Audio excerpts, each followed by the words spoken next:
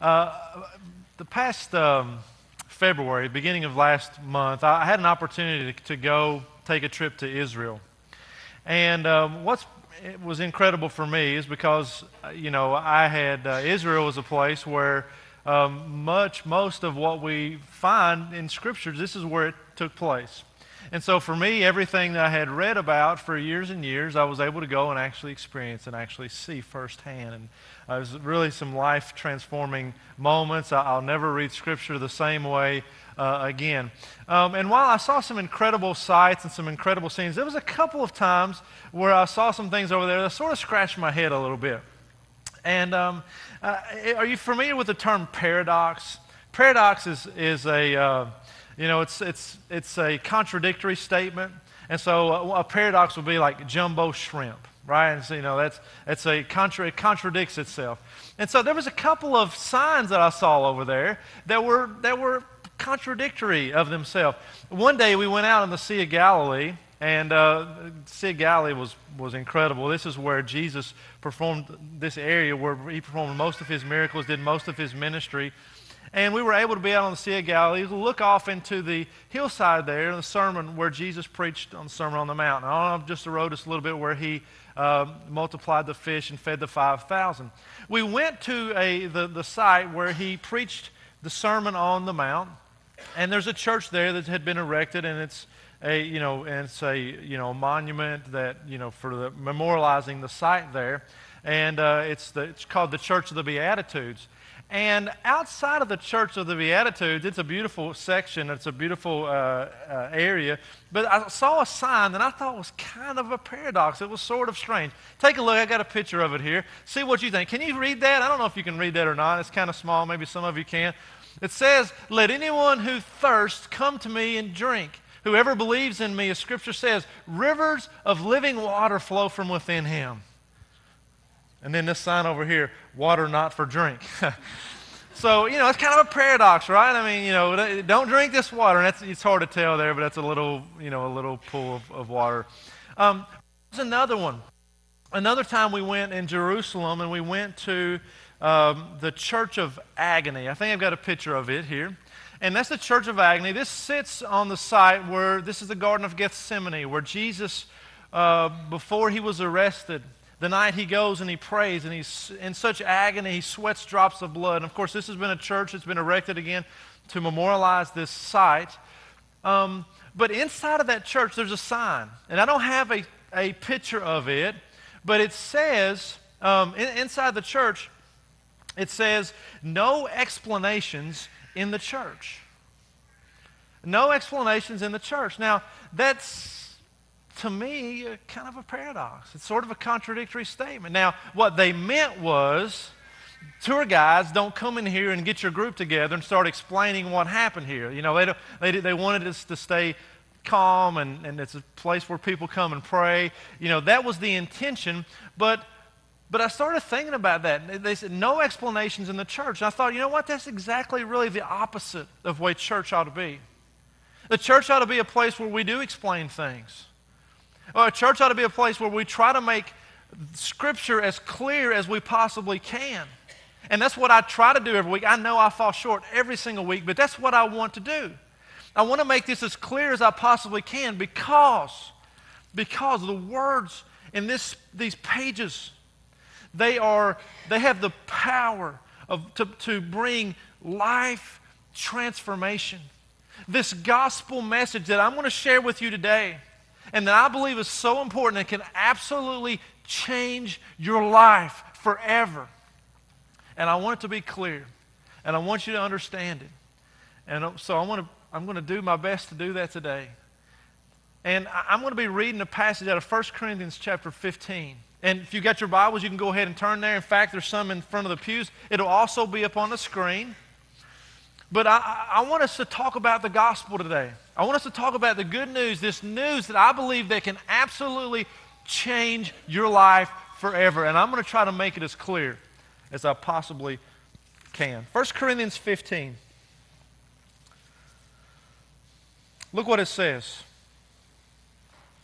And Brian read from 1 Corinthians 15, the latter part. I'm going to read from the beginning part. It says, Now, brothers and sisters, I want to remind you of the gospel I preached to you, which you received and on which you've taken your stand. Okay, the, the, that term gospel, it literally means the good news, right? The gospel message, the good news. He says, I, I want to remind you of it, what I've preached and what you've taken your stand. By this gospel, by this good news, you are saved. If you hold firmly to the word I have preached to you. Otherwise, you've believed in vain. For what I received, I passed on to you as first importance. And he's about to tell us what the gospel is. Paul's about to share the good news with us right here. He says that Christ died for our sins, according to Scriptures, that he was buried, that he was raised on the third day according to the Scriptures. See, that's the gospel message. The good news that we preach every single week in here, we do our best to do that, is that, is that Christ died for your sins, that he was buried, and that he raised from the grave. That's the gospel message. That's the good news. That's what we proclaim today as we gather on Easter Sunday. Now, the death of Jesus really isn't disputed, right?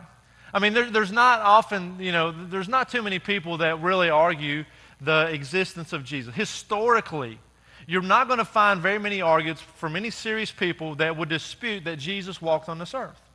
Historically, we know, even outside the pages of our New Testament, we can know outside of this that there was a man named Jesus who was executed during the reign of Pontius Pilate. He was a Jewish prophet, and that many people, many Jews, believed him uh, to be the Messiah. We would know that without the pages of Scripture. We know historically that Jesus walked on this earth. Now, and, and that, you know, that he died. That's not a dispute for most people, right? Uh, the dispute's not going to be over his burial. We know that Jesus was buried in a tomb, right? Remember, the, remember what happened? Jesus, after he was crucified, Joseph, the guy named uh, Joseph, he was from Arimathea. He goes to Pilate. He says, Can I take his body?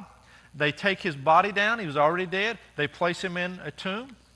It was a tomb that had never been used before. Um, and so that's really not a dispute. The dispute, though, is the resurrection. I mean, this is really where the rubber meets the road, right? I mean, could, uh, how is this possible? How's a resurrection possible? And of course, we know that that's still an issue for, for us today. It was an issue in the first century, and we're going to read that here in just a moment, but it's still an issue today. Some people say, well, he must have, uh, maybe the, disciples hallucinated it all. Maybe they just sort of dreamed all this up. Or maybe they went to the wrong tomb. Maybe they took a wrong turn. They were supposed to go right and, and then straight and then right again. They went right and then straight and they took a left. Maybe they just went to the wrong tomb.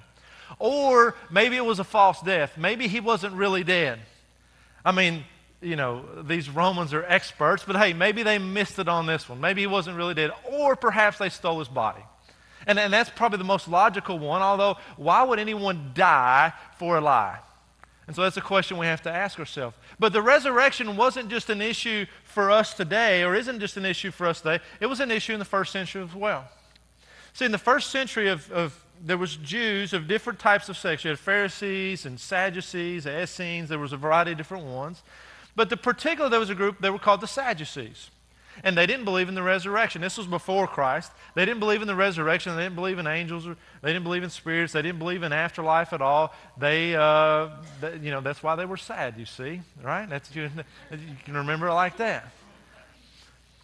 Um, but listen to what Paul says. And Paul's the author here of 1 Corinthians, or Saul, same person. And he's trying to make this, uh, them to understand that if there's no resurrection, that if there's no resurrection, then, then this whole Jesus movement really just doesn't have anything to stand on. Listen, listen to what he says. Drop down to verse 12. He says, If it's preached that Christ has been raised from the dead, how can some of you say that there's no resurrection of the dead? If there's no resurrection of the dead, then not even Christ has been raised. And if Christ has not been raised, our preaching is useless, and so is your faith. More than that, we are then found to be false witnesses about God, for we've testified about God that He raised Christ from the dead. But he did not raise him if in fact the dead are not raised. For if, if the dead are not raised, then Christ has not been raised either. And if Christ has not been raised, your faith is futile. You're still in your sins. Then those also who have fallen asleep in Christ are lost. If only for this life we have hope in Christ, we are of all people most to be pitied. Now, Paul says, as he writes this, that if the resurrection didn't happen, if, if you Sadducees believe that there's no life after this death, and he lists several different things here. I just put a few up there on the board. He said, Your faith is useless. Do you realize that without the resurrection, your faith is no good? We might as well pack it up and go home today. It, because everything, everything is based on the, on the resurrection of Jesus. See, if your faith is useless, see, you, you could say, well, no, I, Jesus, I think he was a good person. I've had people tell me this. Uh, he was a good person. I think he was a moral man. He was a good teacher. All of these things. And I'm going to follow that. Listen, he wasn't a moral man. If Jesus didn't raise from the grave, he wasn't a moral man. It makes him a liar. Your faith is useless, he's saying, if, if, if, if the resurrection didn't occur. And not only that, you're still in your sins. Do you realize if the resurrection didn't happen, you are still in your sins. We're going to talk about next week the, the blood of Jesus and why it was necessary for him to die as we can, we'll continue a, a series that we are in in Hebrews. But if you're, if, if, if without the resurrection, that death was powerless, you're still in your sins. As a result, you're still lost. You're lost. Now, nobody likes to hear that term. That's a very, you know, a very negative term for someone to say, to call me lost or to call you lost. That's not my term. Okay? That's what Scripture says. And so don't get mad at me. I'm not, you know, that's what the Bible says that if you're outside of Christ, then you're lost. And not only that, but you're without hope. If there is no resurrection, there is no hope beyond the grave. How sad would that be? I, I went to two funerals Friday, thankfully, both believers. But if there was no hope beyond the grave, if if that was, if this is it, I mean, how, de- how depressing would that be? Those families would have no hope of ever seeing a loved one again. We would have no hope of ever seeing someone who's passed away who was in Christ before us. And you and I, we would say, well, this is it. We might as well just live it up, get all the toys we can get, and then this is just, you know, it's over. There'd be no hope. If the resurrection didn't happen, Do you realize all those different things. That's what Paul's trying to, to get us to understand here. But what if it did? but what if a man named Jesus lived and he went to the cross and he died? And not only did he die a death for my sin and for your sins, but he was raised from the grave. Do you realize what that changes? That changes everything. And it changes everything for you, and it changes everything for me. But how do we know it's true? How do we know it's true? How can we trust that the resurrection actually occurred? Well, let me give you two, two things that you can, uh, that you can, and there's many things we could list. I mean, we just don't have time. But two things. Let me give you the first one. The first thing is eyewitnesses. Eyewitnesses. If the resurrection doesn't occur, you can see up on the Christianity crumbles. How do we know it's true? Eyewitness accounts.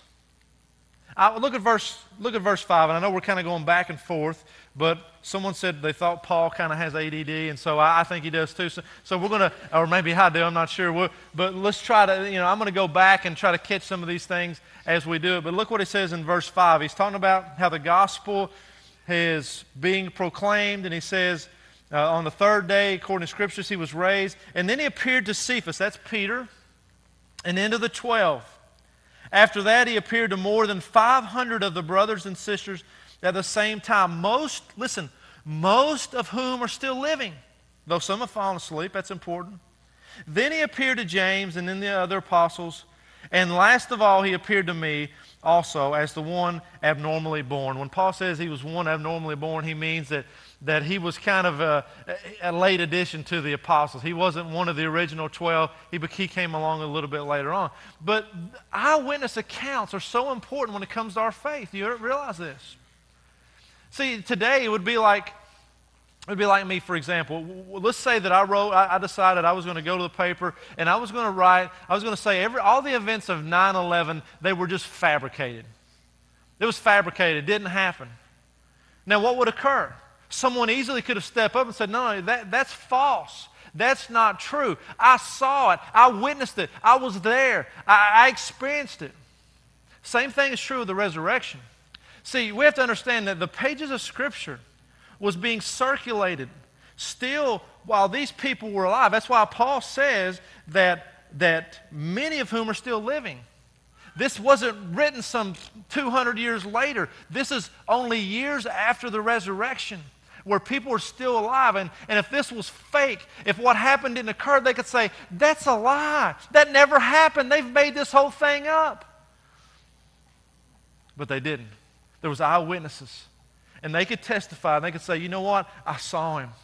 I can testify to the fact. I didn't see him, but my sister, she knows someone. He saw the resurrected Christ. There were so many eyewitnesses. Over 500 Jesus appeared to over a period of 40 days. Not only that, but secondly, do you realize uh, the life change the, of those who, who experienced the resurrection personally? Think about this. Think about Peter. Remember Peter?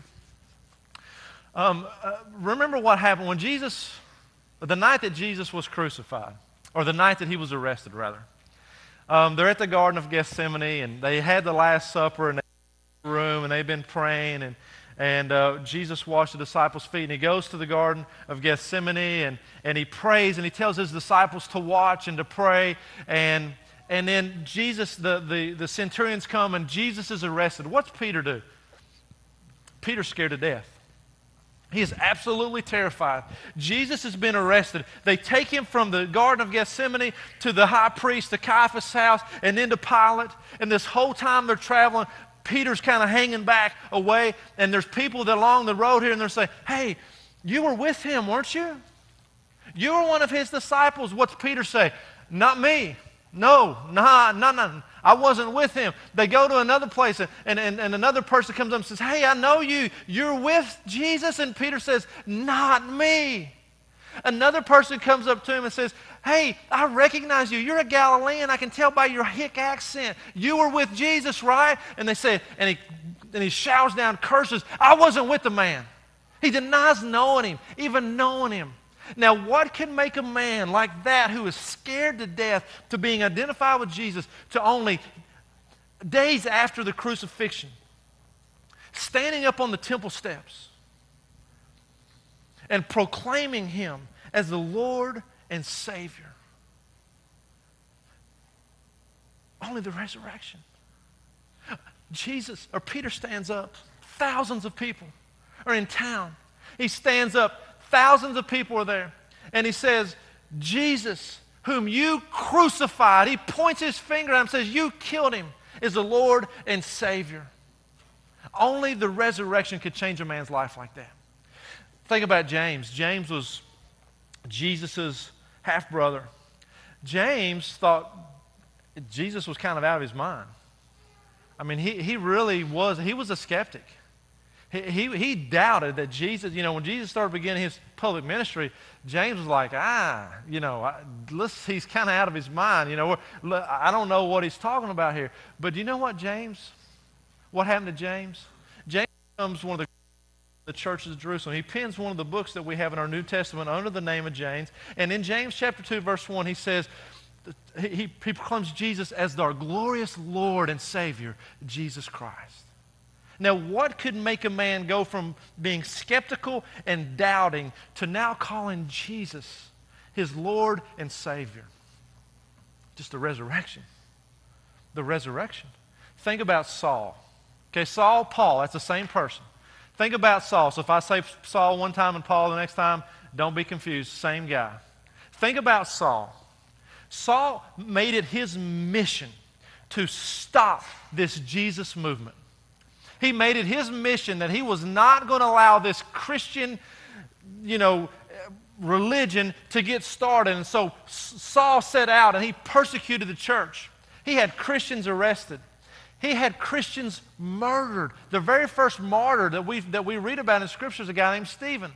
And while Stephen is, Stephen is being stoned, there's Saul standing right there, and Scripture says, giving his approval. What can make a man go like that, being a zealot, radicalized Jew,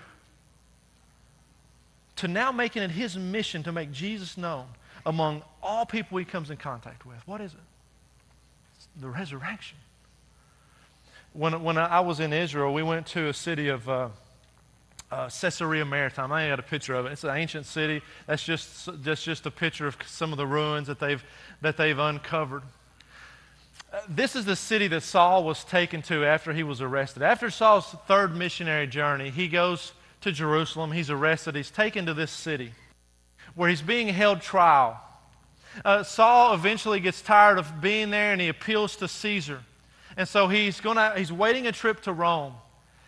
And so for two years, he's there in the city of Caesarea. When I was in, in Israel, the tour guide that we had that last day was an archaeologist. And he says, Hey, I need to tell y'all something. This is, this is sort of a best kept secret, he said, around here. He said, We've uncovered, we've unearthed the area, this, uh, the cell where Saul was in prison while he was in Caesarea waiting to go to Rome.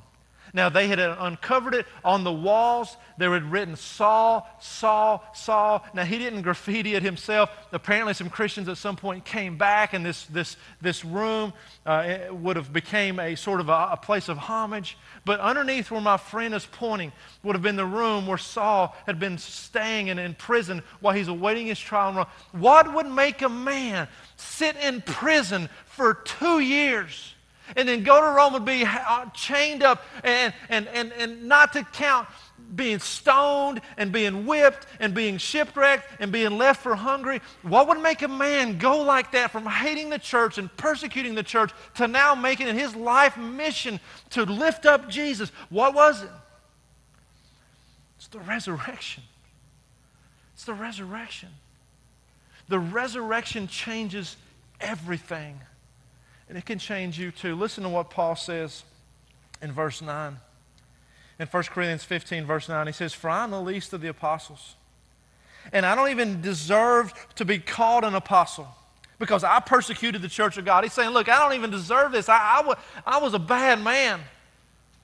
On other occasions, he says, I was the worst of worst. You think you're bad. Listen, you think some of you think you've made some mistakes. You've got nothing on Saul. He was a murderer. He, there's so many things that he could point to in his life. You, listen, he says, I was the worst of the worst, but God chose him to be an apostle, to, to carry the good news to, the, to, to all the world, to be the greatest missionary the church has ever known. Some of you think, well, God can never use me. I've got, I've got a, a word for you this morning. He can use you, and He wants to use you, and He can change your life. The resurrection can change you. It changed Him. Listen to what he says. He said, I was, I don't deserve to be called an apostle. I persecuted the church of God. And then listen, I love this. But by the grace of God, I am what I am. And by his grace to me, and his grace to me was not without effect. I love what Saul says. Paul says, by the grace of God, I am what I am. It's only God's grace. It's only God's goodness. It's only because of this life transforming moment and, uh, that, that God has done in my life. He showered with me his, by His grace. It's by God's grace I am what I am. And I could stand before you today and say the exact same thing. It's only by God's grace that I am what I am. Only by God's grace. Listen, the gospel is such good news. It has the power to transform your life. It has the power to change you in so many ways. But there's a couple of things that we need to understand from this text. First, as it applies. When it comes to this good news, when it comes to the gospel, you got to receive it. You got to receive it. Verse 1 says this. I'm going back and forth, I know, but verse 1 it says this. He says, Brothers and sisters, I want to remind you of the gospel I preached to you, which you've received in which you've taken your stand. Listen, this is good news this morning. I'm preaching good news to you this morning. I hope that you'll walk out knowing the good news, the death, burial, and the resurrection of Jesus. But listen, this isn't just good news to be heard. This isn't just good news to be observed. This is good news to be received. And you receive it by making Jesus and trusting Jesus as your Lord and Savior. You receive it by by believing. You receive it by placing your faith in Christ. by saying, God, I, am going to trust you no matter what. You believe it by repenting of your sins. Peter stood up and he said, You crucified the Savior. And they said, What do we need to do? He said, Repent, change, turn your ways. And listen, this isn't just something that you can do and you can walk out of here today and say, Okay, God, I'm going to repent of my sins. Eh, I'm going to, I'm going to walk away. I'm going to be different. Listen, God has to do it through you. God has to do this work, but you've got to be a willing vessel. You've got to allow Him to do so. We repent of our sins, and then we're immersed in Christ. We're baptized. We're baptized. This is this incredible moment in which God, in which the gospel is preached. Do you realize, and I've said it before, I'll say it again, every time someone's baptized in here, do you realize that the gospel's preached? Do you realize that the good news is preached? The death, burial, and resurrection of Jesus. It's preached every time somebody's baptized, right? When, when, when we go up in this water, you're dead in your sins, you're lost, you have no hope. And then when you're you're then buried in Christ. You're buried in the water. You're underneath. You can't breathe. You can't do anything. And then you're raised to the newness of life. The gospel's preached every time that someone's baptized. And so, this life changing good news, you got to receive it. You got to be willing to say, God, I, I, I can't do anything to earn this. I don't deserve this, but I receive it. That's the way I done. I, I certainly didn't deserve it, and I still don't deserve it today, but I have certainly received it. And I pray that you will as well. Secondly, what we see here in our text is that you retain it. Look what he says in verse 2 By this gospel you're saved. If you hold firmly to the word I preach to you, Otherwise, you've believed in vain. Now, don't, don't read that passage and think, well, does that mean I'm going to lose my salvation? Does that mean if I sin, I mess up, then, then, then I'm lost? No, no, that, that's not what Paul's saying, okay? If you're walking with Jesus, there's nobody or nothing that can take your salvation from you. And this doesn't mean that if you know if you mess up, then all of a sudden now I'm lost. No, no, that's not what he's saying. He's saying here that you got to endure though. You got to keep going. You got to persevere. You got to keep running the race. Paul says, Look, I don't want to be, I don't want to do this thing and be in vain. I don't want to get to the end and, and be like, what, what were you doing? I want to hold on to my faith. I'm going to keep, I'm going to re- remain, I'm going to persevere. You got to retain it, we got to hold on to it. And we do that by every single day waking up and we, we, we rededicate our life to the Lord. Listen, when you came to Christ, oftentimes, and you know, maybe when you made a public decision, maybe when you were baptized, Sometimes get, people get confused and think, well, I, I, make that decision, I'm done, right? I mean, that's all I needed to do. That's over. I checked that off the list, and I'm just going to walk on, you know, from this point on, and, and I'll check in with God ever so often. No, no, no. That's, that's not the end. That's the beginning. That's the beginning. That's the, that's the start of your walk. And every day you hold on. You get knocked down and you get up. And you brush your feet off and you keep going and say, Lord, I blew it today. God, I'm messed up today, but Lord, I'm going to keep trusting you. I'm going to keep walking with you. I'm going to keep holding on to you. And you just keep persevering all the way to the very end. And we get to the end, and God says, Well done, well done, well done, my good and faithful servant. This is life changing good news, and I want you to know about it. And I want you to understand it. I want you to receive it. And I want you to hold on to it for everything you've got. Every bump in the road, every time you, something comes up in your life and you think, man, I don't know if I can go on. Or man, you get bad news and you keep thinking, the resurrection, it changed everything. It changed everything. I've got hope. It doesn't matter what I endure because of the resurrection. I can keep moving forward. I, have shared with some of you. Um, uh, kind of a milestone moment in my life. One of those milestone, style, milestone moments in my life was a, a, week of camp that I went to in high school. It was that week of camp in which I, I uh, rededicated my life to the Lord. It was a, that week of camp which I decided to go into, into a Bible college and into, into some type of Christian ministry. And um, it, was, it was at that same week of camp that there was a girl there by the name of Jill. And uh, I don't know if Jill was part of a camp team that came with Cincinnati Christian uh, University at the time or Cincinnati Bible College at the time, or if she was just there with her father. Her father's name is Wally Rendell. Some of you, maybe you're familiar with that name. Longtime preacher like in Lexington area in the Christian church. But Jill made a big impact on me that week. She was such an encourager and, and uh, just uh, was, was just, just bubbling with life.